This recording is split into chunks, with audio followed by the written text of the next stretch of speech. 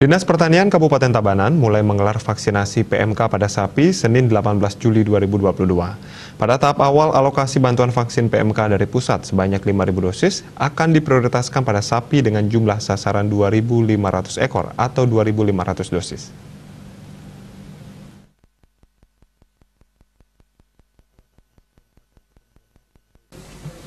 Berdasarkan data di Dinas Pertanian Kabupaten Tabanan, vaksinasi PMK akan dilakukan Puskeswan 1 Tabanan menyasar kelompok ketahanan pangan di Kecamatan Marga yaitu Desa Batanyuh, Banjar Batanyuh, Kaje, kelompok Banteng Mesari, dan Desa Pekan Belayu. Selanjutnya, kegiatan yang sama dilakukan UPTD Puskeswan 3 menyasar kelompok ternak yang ada di Banjar Dinas Labih Pangkung Kuning, Banjar Dinas Labih Tengah, dan Banjar Dinas Labih Wanesari.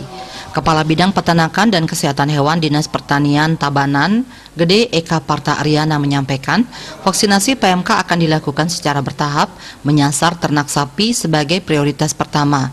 Pada tahap awal dari total 5.000 dosis vaksin PMK yang didapat Kabupaten Tabanan, kemungkinan hanya dimanfaatkan setengahnya atau 2.500 dosis. Sisanya akan digunakan sebagai booster atau akan dilakukan vaksinasi lagi setelah dua minggu pasca vaksin pertama.